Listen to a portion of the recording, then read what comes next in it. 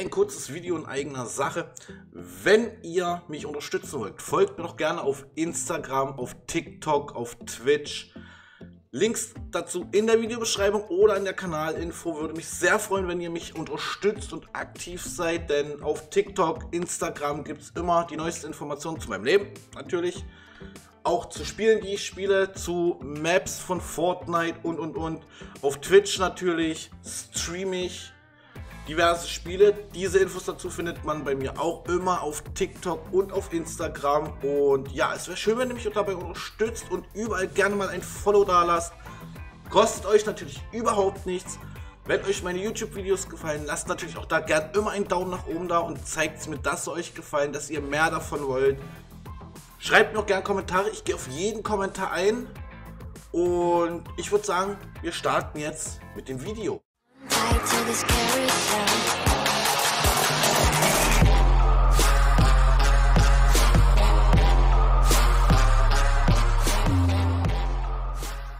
Heute spielen wir wieder eine Death Run Map und zwar 150 Level Easy Death Run.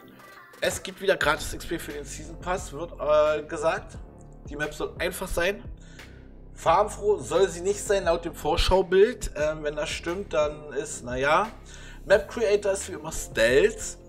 Äh, von denen haben wir ja jetzt schon so viele Maps gespielt. Also, ja. Da ist tatsächlich einer meiner Favoriten von den Maps her. Aber wir wissen auch, dass seine Farbenfroheit von Maps äh, sehr, sehr eintönig ist. Ähm ich kenne die Map tatsächlich schon. Und ich würde einfach sagen, erstmal ohne lang zu schnacken, Spiel starten und dann erzähle ich ein bisschen was von der Map. Und ja, ich kenne die Map schon. Ich war hier, habe hier halt schon alles freigeschalten in den VIP-Bereich. Hier hinten gibt es Bonuslevel. Die bleiben mir verwehrt. Ich habe die einmal gespielt, ich komme da nicht mehr rein, was ich scheiße finde. Weil diese Bonuslevel haben sehr viel XP abgeworfen, tatsächlich. Und ja, wirklich sehr, sehr viel. Die waren im vierstelligen Bereich. Und ich glaube, hier gab es auch ein ähm, Secret-Button, ne? wenn mich nicht alles täuscht. Und ja. Also, dass die Bonuslevel mir jetzt mittlerweile verwehrt bleiben, ist ein bisschen scheiße. Aber ihr seht, man kriegt trotzdem XP für jeden Checkpoint. Es gibt 200 Checkpoints. Leider ist keine Anzeige da, wie viele Checkpoints wir schon ähm, gemacht haben. Sprinten ist aktiv, Klettern ist aktiv. Jo, Map soll einfach sein. Bis jetzt, ja, man kann durchlaufen tatsächlich. Ähm, Farbenfroheit bei Stealth, wissen wir, ist nicht wirklich gegeben, aber das juckt mich nicht, da seine Maps einfach nur chillig sind. Und ich würde seine Maps immer wieder spielen. So, jetzt hat mal die Farbe ein bisschen gewechselt. Ähm, hier kann man tatsächlich auch ein bisschen tricksen, wenn man diesen Sprung nicht oder diese Falle nicht machen möchte wie ich. Das ist sehr nice. Dass man da dann einfach mal eine Runde klettern darf. Ist ja auch nicht auf jeder Map gegeben. Ähm, ansonsten, Mapcode ist wie immer in der Videobeschreibung, das wisst ihr. Das habe ich jetzt vergessen zum Anfang zu sagen. Und das war volle Absicht. Ich wollte euch zeigen, wie man es nicht macht. Man macht es nämlich so. Ähm, Secrets gibt es leider keine auf der Map, soweit ich mich erinnere. Ich habe das ist schon eine ganze Weile her, als ich die Map gespielt habe. Die war in meiner Bibliothek ganz weit nach unten gerutscht tatsächlich. Weil ich die mal mit meinen Kindern ja, äh, gespielt habe. Und da die auch wirklich was für mutige Anfänger ist, die Map. Hier kann man sich wieder so schnell drehen. Nicht so wie bei den anderen Maps, okay. Ähm, da die was für mutige Anfänger ist, ist die halt auch was für meine Kiddies. Was ich sehr chillig finde. Und sowas kennt man ja, wenn so eine Tür ist, ist da meist eine Wand- oder Deckenfalle äh, verarbeitet. So, hier kann man natürlich ein bisschen tricksen, wenn man nicht über äh, Kante springen möchte. So wie ich. Weil das sind wirklich Zacksprünge. Aber tatsächlich mache ich solche Sprünge auch gerne mal. Und ich habe gedacht, das ist eine Stachelfalle. Nein, dann ist da tatsächlich eine Giftfalle. Mensch, Mensch, Mensch. Stealth, was machst du hier? Ich lob dich in so großen Tönen und du baust da eine Giftfalle hin. oh, geil. Nein, also Stealth tatsächlich äh, unterstütze ich auch, indem ich diesen Unterstützungsbutton immer anklicke bei seinen Maps. Weil ihr könnt sagen, was ihr wollt. Ihr könnt gerne mal meine ganzen Videos durchgucken. Ne? Äh, so viele Videos von ihm äh, habe ich gemacht, das ist abnormal. Und ihr habt gesehen, hier gibt es Secrets. Ich habe auch in den ersten Passagen tatsächlich Secrets ausgelassen. Muss ich ehrlich sein, habe ich im ersten Durchlauf und im Durchlauf mit meinen Kindern auch nie gefunden. Ne? Das ist da total creepy. Ich weiß nicht, warum wir die nicht gefunden haben. Aber für die Secrets gibt es XP. Ist nicht viel, aber immerhin besser als gar nichts. Selbst für denjenigen, der die äh, Secrets schon eingesammelt hat, gibt es immer noch XP. Wie ich. Und dieses da unten hatte ich tatsächlich schon.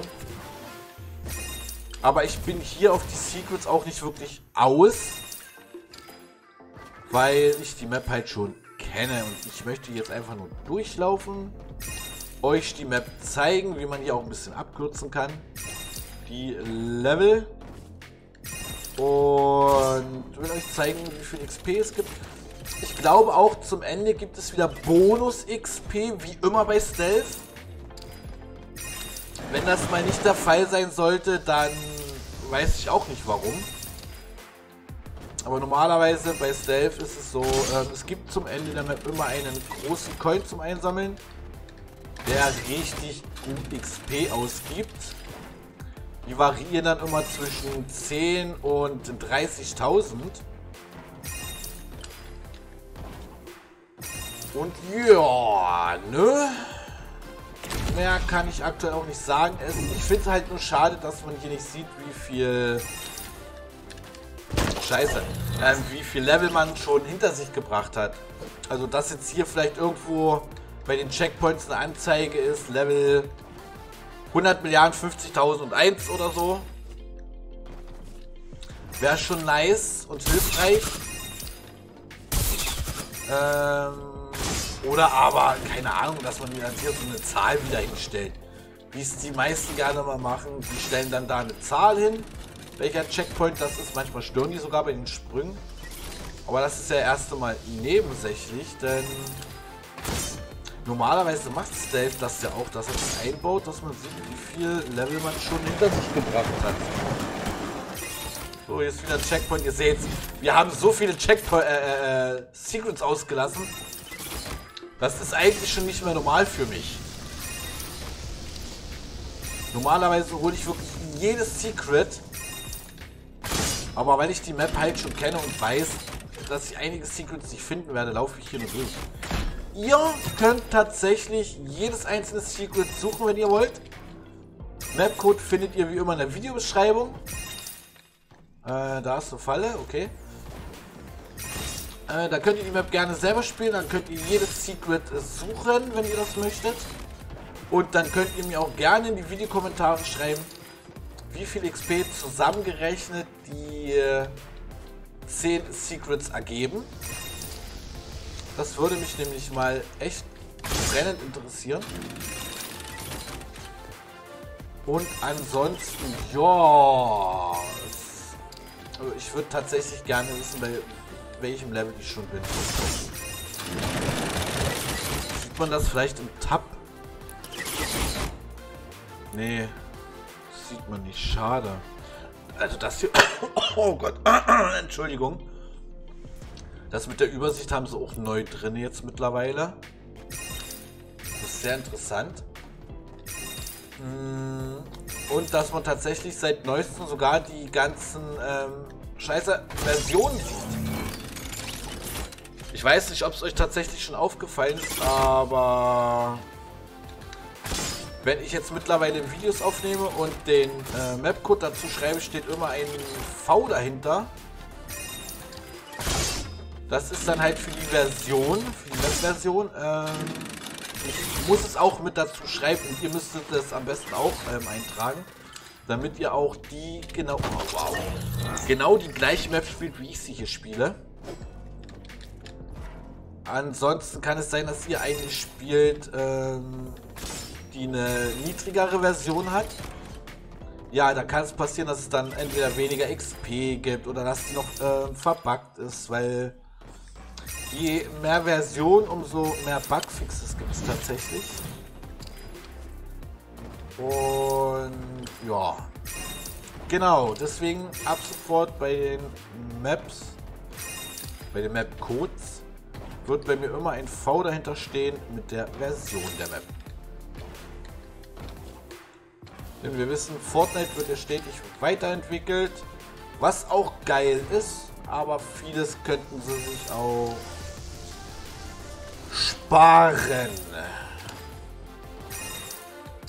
So, natürlich hier Trick 0815, wir gucken an die Decke. Kleiner Tipp hier, nicht geradeaus drin. Hier ist eine Alpha-Wand, die bringt euch um. So. Haben wir das auch gemeistert. Das hier noch. Nein, scheiße. Nein.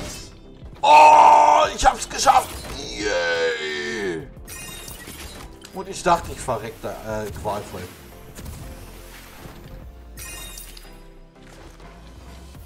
Ähm, jo, wenn ihr Maps für mich habt, die ich spielen soll, sei es PvP, äh, PvE Maps, Death Run Maps, ähm, T-Maps, whatever, Schreibt es in die Videokommentare. So, Bonus XP. 6000 und nochmal 6000 sind 12.000. Reicht vollkommen aus. Die Map kennen wir schon. Yo. Wir gehen mal zurück. Wie gesagt, VIP. Ich würde es euch gern zeigen. Ich darf nicht. Es wird mir vorenthalten. Weil ich die Map schon gespielt habe. So. Wir haben aber schon mal alle Schuss gefunden. Das ist interessant. Ich merke mir das halt einfach gar nicht. Collect VIP Rewards.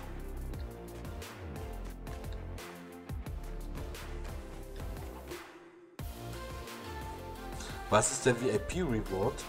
Ach, das hier. Haben wir da auch das Häkchen? Nice, nice. So. Jo, was gibt's zu sagen? Die, äh, es gab doch mal XP. Lul. Ähm, was gibt's zur Map zu sagen? Sie ist einfach. Sie ist chillig. Sie ist was für blutige Anfänger. Also man kann da wirklich durchlaufen, auch wenn ich das eine oder andere Mal gestorben bin, aber das ist egal. Ähm... XP sind nicht zu hoch, nicht zu wenig, genau richtig. Also kann ich nur weiterempfehlen, dass man sie mehrfach spielt. Dann macht man auch schon mal das eine oder andere Level gut am Tag. Ähm, farbenfroh, ja gut. Äh, mal rot, mal gelb, mal blau, mal lila, mal keine Ahnung was für Farben. Aber das kennen wir nicht anders von Stealth. Jo, also ist, ich weiß nicht, was ich noch sagen soll. Äh, die Map ist einfach wieder genial und geil. Und jetzt wollen wir mal ganz kurz gucken. Wir haben jetzt äh, gewotet. Normalerweise müsste es hier tatsächlich dann einen Secret Button geben, der mir vorenthalten wird, weil ich den schon eingelöst habe. Da gibt es auch nochmal Bonus-XP. Wie ihr gesehen habt, nur ein einziges Mal. Und die ist immer noch zu. schade. Ähm, jo, also Mapcode gibt es wie immer in der Videobeschreibung. Ansonsten lasst gerne einen Daumen nach oben da, lasst Kommentare da. Und jetzt bleibt mir nicht mehr viel zu sagen, außer dass ich euch noch einen wunderschönen Tag wünsche. Rockstar, dance until I drop, my love is a fire.